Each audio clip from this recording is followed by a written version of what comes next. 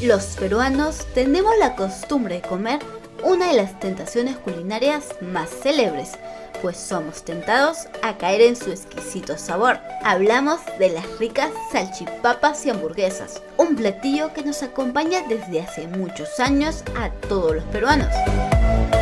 Estos platillos han evolucionado con el tiempo, así como también la creatividad peruana, pues existe gran variedad a la hora de prepararlos, desde el tradicional con salchicha, con pollo, carne y chancho, los que están pensados en cada cliente y en cada tipo de bolsillos, hasta la tendencia ahora de ponerle queso derretido encima.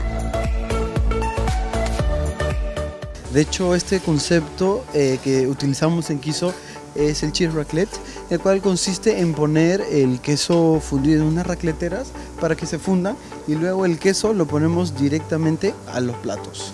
¿no? En, eso, en eso consiste eh, el concepto y de hecho es simple y a la vez muy rico y algo novedoso. ¿no? A cualquier persona del mundo le encanta el queso en sus diferentes variedades.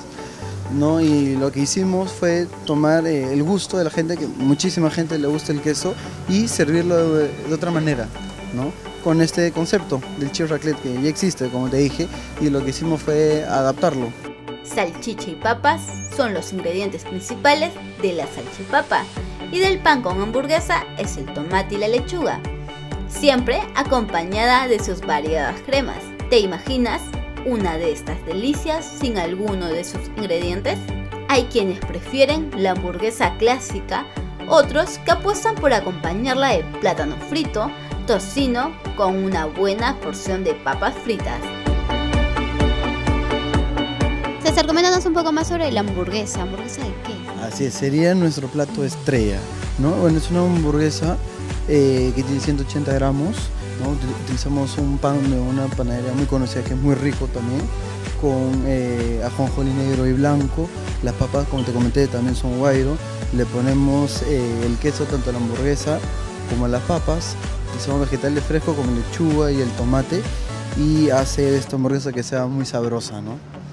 Popular en distintos países de Sudamérica como Colombia, Chile, Bolivia y Ecuador, por su gran sabor, sigue conquistando a diversos públicos sin importar la edad. Bueno pasajero, si te animas, ya sabes qué platillo pedir este fin de semana. O si prefieres, conviértete en un chef con tu propia receta de hamburguesas y salchipapas.